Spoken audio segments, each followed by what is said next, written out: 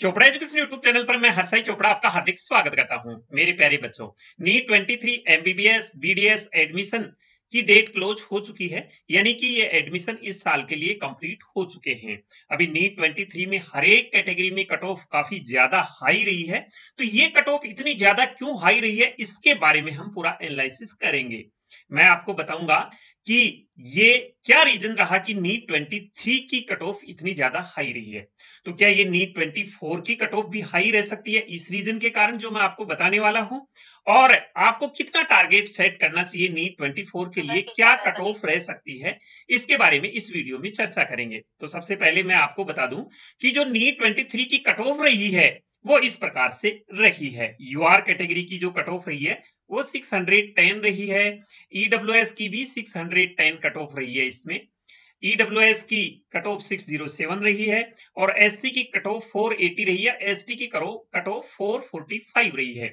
जबकि अगर 22 की कट ऑफ़ देखी जाए यहाँ पर तो 22 की कट ऑफ़ और 21 की कट ऑफ़ तकरीबन सेम सी ही थी।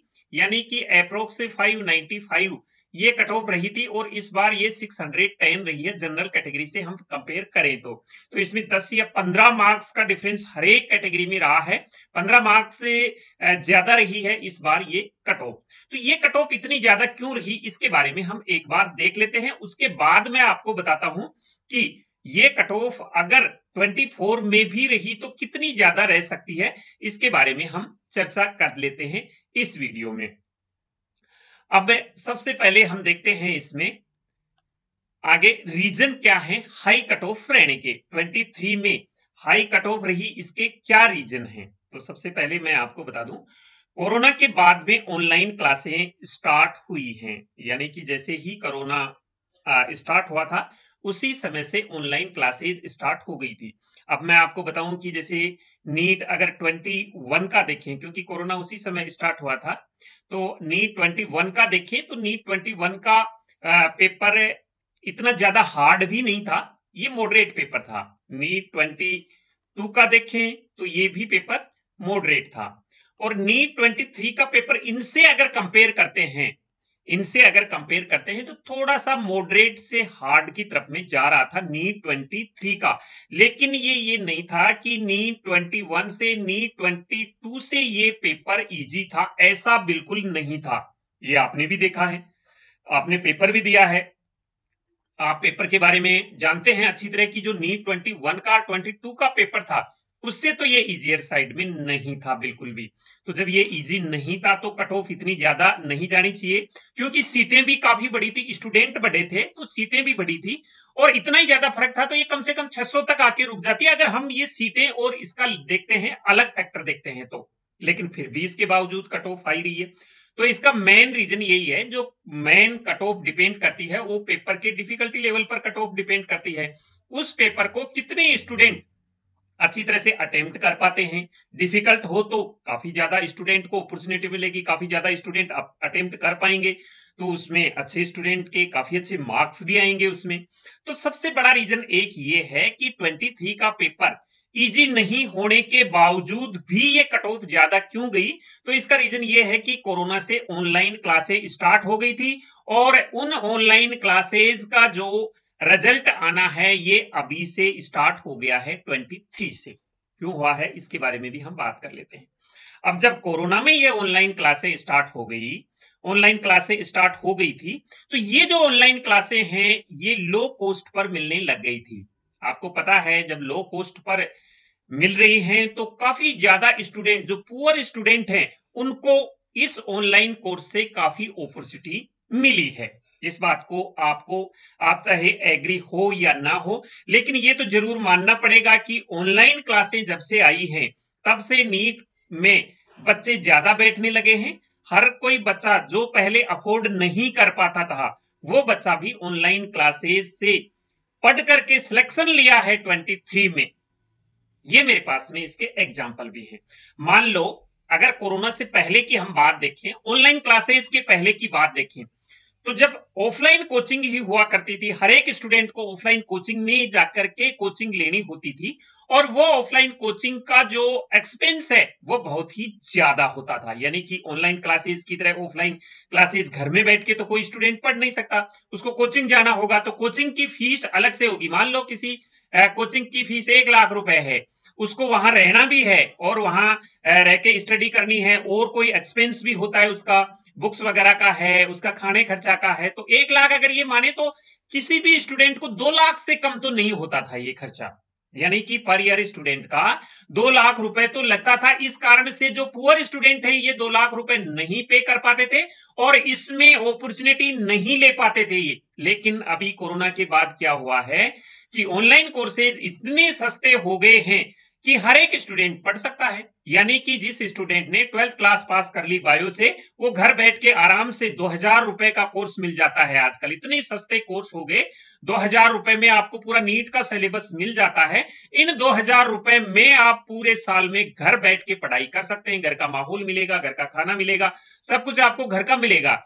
तो ये जब दो हज़ार रुपए में आपका काम हो रहा है, पाँच छह हज़ार का मोबाइल ले लो, बुक्स वगैरह मिला के आपका टेन थाउज़ेंड में पड़ जाता है सारा। तो जहाँ आजकल ऑनलाइन टेन थाउज़ेंड में पड़ रहा है, वहाँ पहले दो लाख में पड़ता था। तो ये दो लाख हर एक स्टूडेंट, गरीब स्टूडेंट इसको अफोर्ड नहीं कर पाते थे। लेकिन ये दो हज़ार रुपए, दस हज़ार रुपए हर एक स्टूडेंट अफोर्ड कर पाता है। इसलिए इंडिया में इतनी सारी प्रतिभाएँ हैं जो पहले उभर के नहीं आ रही थी, अभी वो उभरने लगी हैं। ये नीट 23 का एग्ज़ाम्पल है।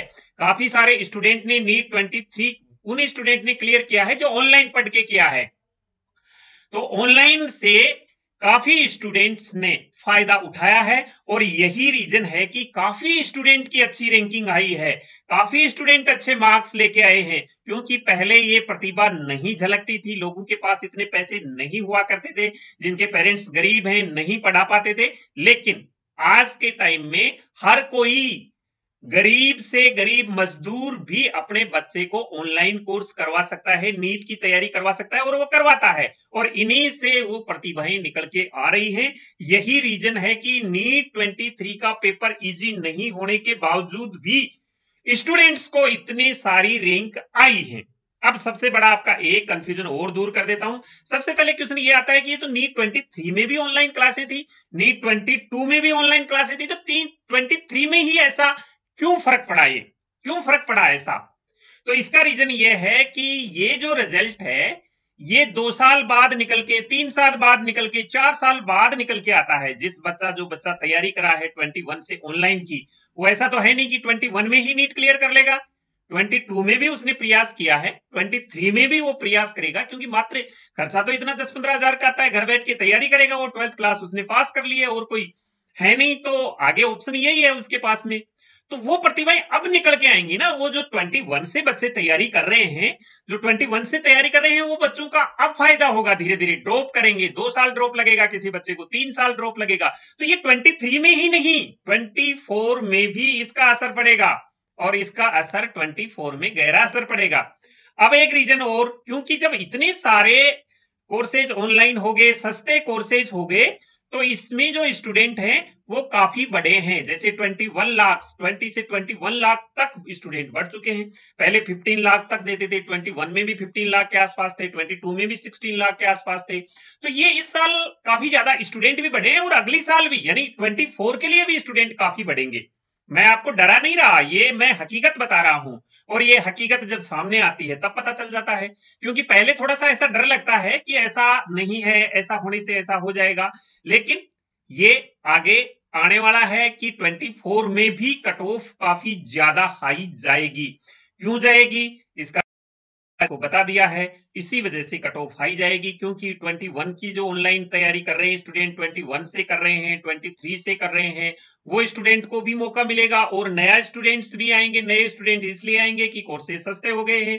तो ये रीजन है 23 की कट ऑफ़ ज़्यादा जाने का।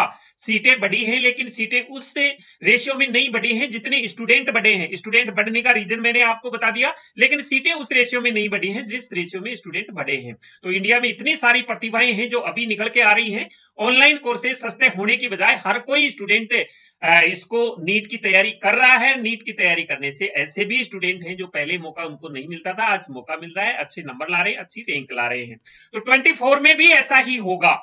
24 में ऐसा होगा कि जो ये 23 की कट ऑफ़ है, इस कट ऑफ़ से डाउन कट ऑफ़ तो जाने की पॉसिबिलिटी नहीं है, चाहे कितना ही हार्ड पेपर आ जाए। अगर हार्ड क्वेश्चन पेपर आएगा तो बच्चे ज़्यादा बढ़ेंगे। बच्चे ज़्यादा बढ़ेंगे, इसलिए बढ़ेंगे कि ऑनलाइन कोर्सेज हो गए, सस्ते कोर्सेज हो गए। तो इनमें इतने सारे बच्चों में जब सौ बच्चे एग्ज़ाम देंगे, उसके अंदर काफ़ी सारे बच्चे अच्छे मार्क्स लाएँगे, पहले पचास ही देते थे, अभी सौ देंगे तो फ़र्क तो पड़ेगा ना उसमें। तो ये कट ऑफ़ से डाउन तो जाने की पॉसिबिलिटी नहीं है। हालाँकि जो कट ऑफ़ है वो पेपर के डिफिकल्टी लेवल पर थोड़ा सा डिपेंड तो करेगी, लेकिन इससे डाउन कट ऑफ़ जाने की पॉसिबिलिटी नहीं है। आप आगे आगे इससे अप ही कट ऑफ़ मानते जाओ। वो टाइम चला गया जिसमें कट ऑफ़ डाउन हुआ करती थी। जैसे 600 जैसे 2020 में 610 आई थी 21 22 में पाँच सौ आ गई, उससे पहले पाँच सौ कट ऑफ़ हुआ करती थी, उससे पहले पाँच पैंतीस कट ऑफ़ हुआ करती थी, पाँच सौ पैंसठ हुआ करती थी, चार सौ बयासी पर सिलेक्शन हो जाता था। अब वो समय चला गया है। अभी समय आ गया है आपको मेहनत करने का। आप एक अपना अच्छा टारगेट सेट करो। आप कम से कम साढ़े छह सौ मार्क्स का टारगेट सेट करोगे, तब आप सिलेक्शन रेंज में आ पाओगे। तो ये आप मान के चलो कि नीट ट्वेंटी फोर की cut off NEET twenty three से कम नहीं रहेगी, इससे ज़्यादा ही रहेंगी। स्टूडेंट काफ़ी ज़्यादा आएँगे इस बार। और आपको मेहनत काफ़ी ज़्यादा करनी है। एक टारगेट लेके चलना है साढ़े छह सौ से ऊपर का, और अभी आपके पास में पाँच महीने का समय है, इनमें आप अच्छी तरह मेहनत करके अच्छा स्कोर खड़ा कर सकते हैं। मैं ईश्वर से आपके लिए यही दुआ करता हूँ, आप अच्छी मेहनत करें अच्छा स्कोर खड़ा करें, ताकि आपके अच्छी रैंक आ सके अच्छा स्कोर आ सके और आप अपने ड्रीम कॉलेज में जा सके। इसी के साथ मैं हरसाई चोपड़ा आपसे लेता हूँ विदा। मैं समझता हूँ कि वीडियो आपके लिए काफ़ी हेल्पफुल रहेगा। हेल्पफुल है तो आप इसको शेयर करें ताकि बाकी सारे स्टूडेंट्स को फ़ायदा हो सके। बाकी सारे जो हैं, अभी सोच रहे हैं, सीटें काफ़ी ज़्यादा बढ़ेंगी, इससे फ़र्क पड़ेगा। तो ये जो मैंने आपको रीजन बता दिए सीट भी बढ़ेंगी तो स्टूडेंट भी बढ़ेंगे। तो मैं आशा करता हूँ कि आप अच्छी तैयारी करेंगे। मिलेंगे नए वीडियो में नई अपडेट के साथ में। तब तक के लिए जय हिंद।